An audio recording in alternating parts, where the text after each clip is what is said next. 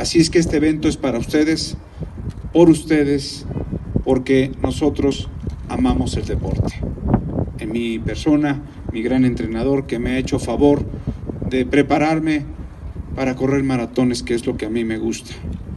Y créame que me ha cambiado la vida.